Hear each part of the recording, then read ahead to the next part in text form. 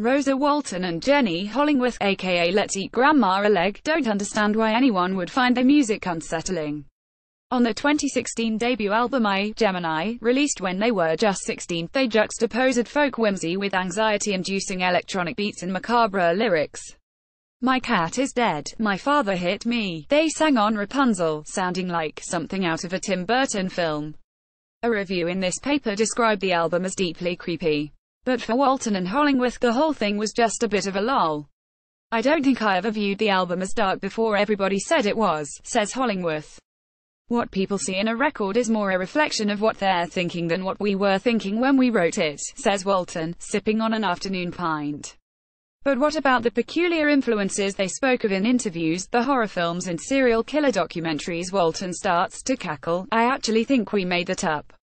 People would nt stop asking us about all our dark influences, says Hollingworth, and to be honest we didn't really have any, so we were trying to give them something. Also, we went through a phase, in interviews, of making up the most elaborate lies we could. Words to put any journalist at ease. A few years ago, the pair now sitting in a North London pub would have been a mirror image of each other, they both had wavy brown hair down to their waists and wore matching outfits frequently enough that people assumed they were twins. But since then, the 19-year-olds have diverged. Today, Walton is wearing a white suit, her hair reddish and straight, while Hollingworth's remains curly, her outfit an assortment of denim. For the first album, we wanted to be marketed as twins, says Walton. Whereas now we have developed a bit more individual confidence, we wanted to be marketed as individuals. But our friendship's just the same. Walton and Hollingworth in 2016. Photograph, Simon Sarin, Redfern's Let's Eat Grandma's friendship has already lasted longer than most bands. The duo met in reception class, aged four, in their hometown of Norwich and started making music together at 13. They wrote the songs for I, Gemini, before they even knew they were making an album. When they signed to Transgressive a few years later, it didn't take long for their self-proclaimed experimental sludge pop to start turning heads but no one quite knew what to make of two 16-year-old girls at the helm of their own strange artistic vision. When they weren't being compared to the twins from The Shining I've never even watched The Shining.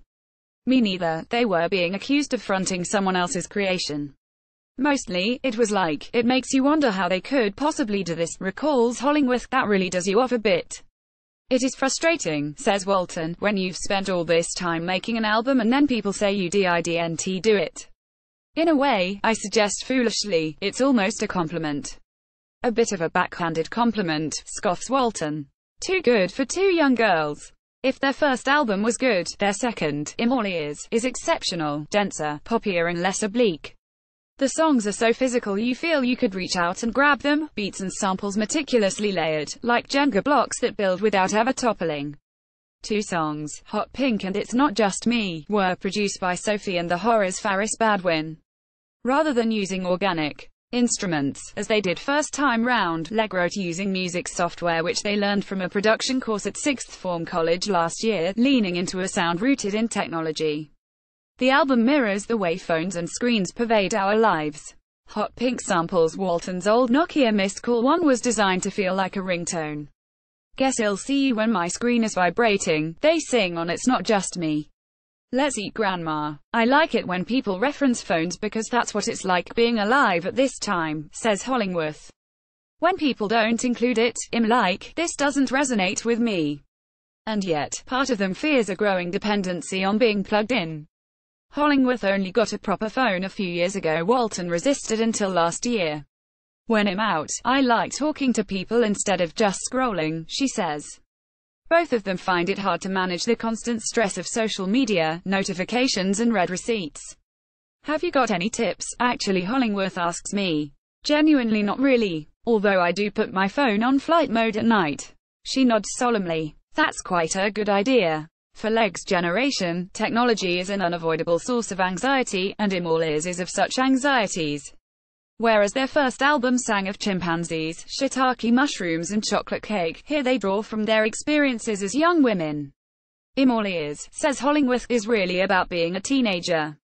Cool and Collected chronicles a failed attempt to play it cool around a crush It's not just me teems with separation anxiety Hollingworth's verse is about her friends leaving to go to university. Falling into me traces a fumbled attempt to take control in a romantic relationship. Over the last few years, when my friends have started dating, I've always found it so, uh, says Hollingworth. I just find it very limiting. This is your role in this relationship, and you need to be attractive in this way. I've never liked it and I think Rose is the same. The bold, industrial hot pink bristles at rigid gender roles and the disparagement of womanhood. I'm just an object of disdain to you, they sing, just before the clattering chorus erupts. In Hollingworth's view, everyone except really masculine, presenting cis men suffers under patriarchal expectations. If you present in a masculine way as a woman, she says, it's seen as something unattractive. Meanwhile femininity in women is also mocked and made out to be stupid and not powerful. And then femininity in men is made fun of. It just seems like nobody's winning. Walton agrees. It's all just overanalyzed. Everybody should be able to do what they want. It's something they have grappled with themselves. I still find it hard to work out what I want to present sometimes, says Hollingworth.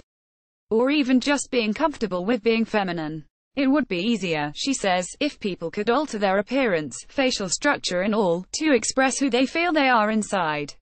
Some people would be, like, on aliens. I sometimes feel like I want to be a bit invisible and then people can't make judgments. Just, not have a body, laughs Walton. Yeah, I wanna be a concept. Judgment may be unavoidable, but let's eat grandma don't need to don alien facades to express who they are. No matter what we say in these interviews, says Walton, the best way of actually working out how we feel is just to listen to the music. Besides, she adds, with a mischievous grin, who knows if everything we have said today is the truth or a lie.